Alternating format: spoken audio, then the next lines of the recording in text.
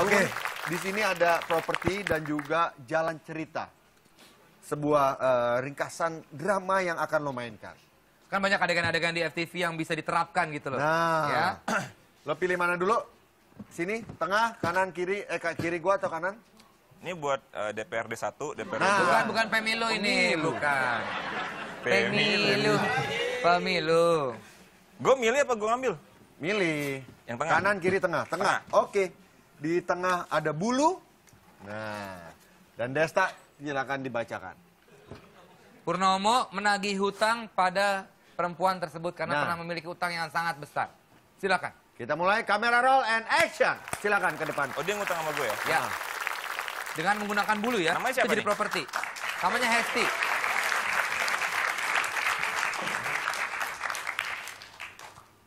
Siang mbak. Mbak, eh, aduh, kok serem sih? Emang. Mbak, ingat saya nggak?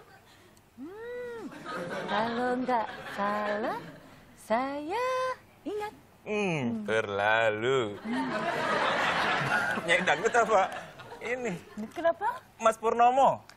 Oh, Mas Purnomo. Yang tetangga rumah depan. Iya, yang waktu itu apa waktu kecil borokan sama bisulan itu ya? Iya, Oh, kok gua tahu? Iya, iya, iya, iya, iya, iya. Ada apa ya Mas? Enggak, ya? saya mau ini, mau barter nih. Mm-mm, Saya punya bulu, mm-mm. harganya 50 juta. So, coba kita lihat. Coba ya. pegang deh.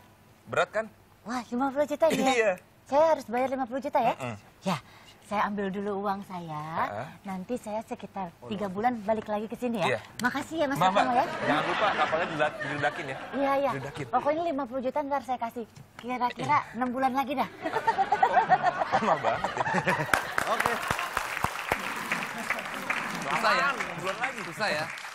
Agak susah ya. Tapi nggak apa-apa drama kan itu drama, sebuah FTV pendek. Saya lawan aktingnya kayak begitu. Nah, Iya. Datang dong. Gitu, kalau salah Oh iya, ngomong. Oh iya maaf, maaf, maaf ya, maaf ya. Iya maaf, maaf. Selanjutnya yang ini, nih yang selanjutnya nih. Nih, Ini lagi nih situasinya, silakan. Situasinya merayu Iya betul. Merayu cewek. Oke, Ya siap? beneran gak ini? beneran. Beneran. Kamera rolling And action. action. Dari tadi taksi nggak ada yang lewat. Aku kasih kaki aja ya. Kok nggak ada yang stop ya? Kak? Saya mbak, saya stopin ya. Ya. Taksi! Eh, kalau nyetap taksi yang harus semangat, jangan ngantuk. Lu yang ngantuk lu. Bukan si Ben, lu yang ngantuk. Mbak, mbak, mbak, Hmm, ya? tahu nggak ini paci kinclong?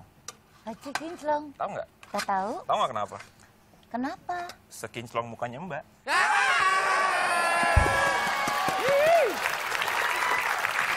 Bagus lah, bisa menggunakan alat dengan baik ya. Menggunakan panci sebagai eh, rayuan. Dan yang terakhir, lo punya vacuum cleaner. Situasinya adalah menjadi pawang hujan.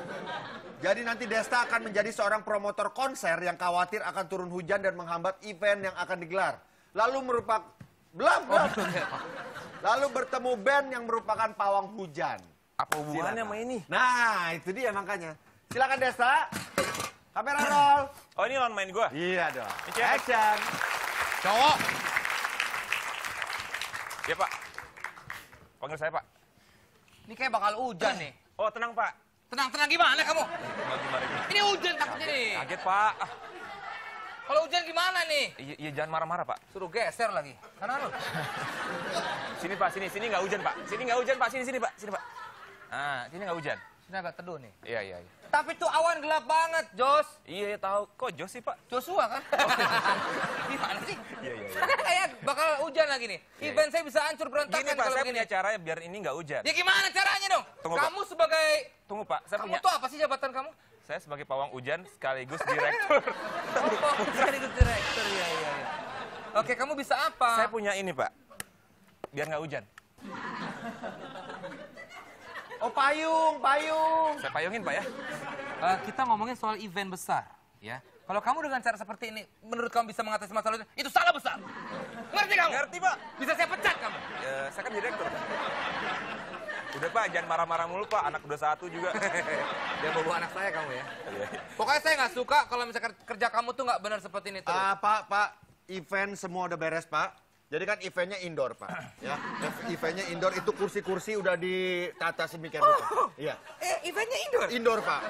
Ngapain saya marah-marah ya?